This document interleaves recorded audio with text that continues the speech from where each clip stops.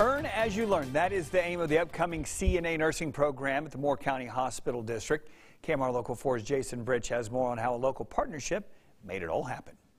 Keeping our nursing staffed here in our community is such a benefit uh, for care. Scott Paulser, who serves as the Assistant Director for Continuing Education and Workforce Development at Amarillo College's Moore County campus, talks about the impact the new Certified Nursing Assistant program will hopefully have on the community. We believe, along with the hospital, this is a gateway to some other health occupations um, besides nursing, not just nursing, but also other health occupations. Kathy Fuston with the Moore County Hospital District says this all came together after they noticed a shortage of CNAs. We've collaborated with Amarillo College with this, and you know we have a very good working relationship with them, and uh, we're offering CNAs the opportunity to get paid while they go to school to train to become CNAs, and then they can also work here at the hospital while they're in their classes. We'll pay them $12.50 an hour while they're in class for each hour they're in class, which is 18 hours a week. And once they graduate in eight weeks and pass the CNA exam, they'll raise the salary to $15 an hour, along with a job there at the hospital district. This is a several prong win. We um,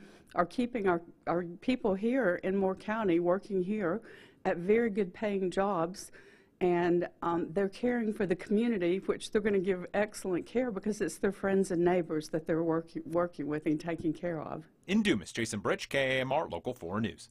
Jason, uh, thank you. F Fuston says that they'll be interviewing candidates for the scholarship until March 18th. Classes will begin on the 22nd. To learn more about the program and how you can apply for it, we have a link at myhighplains.com.